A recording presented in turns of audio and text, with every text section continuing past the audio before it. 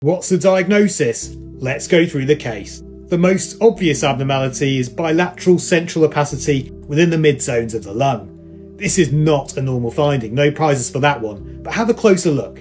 Within the opacity you can see branching lucencies. These are called air bronchograms and mean there is consolidation. Consolidation simply means there is something filling the air spaces within the lungs. It commonly occurs due to infection, but can happen with heart failure, hemorrhage, and even some types of lung cancer, which is why we recommend following up consolidation with a repeat 6 week chest x ray. Bilateral mid zone central consolidation on a chest x ray is highly suggestive of pulmonary edema. Lower zone peripheral septal lines support the diagnosis.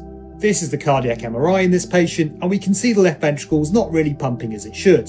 The left ventricle is dilated, meaning the mitral valve is stretched and you can see this jet of mitral regurgitation as a result. In this separate case, we've given gadolinium contrast and we can see this layer of enhancement within the inner layer of the myocardium, the subendocardial layer. This relates to a region of infarction.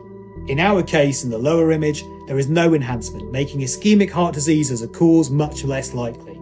The final diagnosis here was pulmonary edema secondary to idiopathic dilated cardiomyopathy.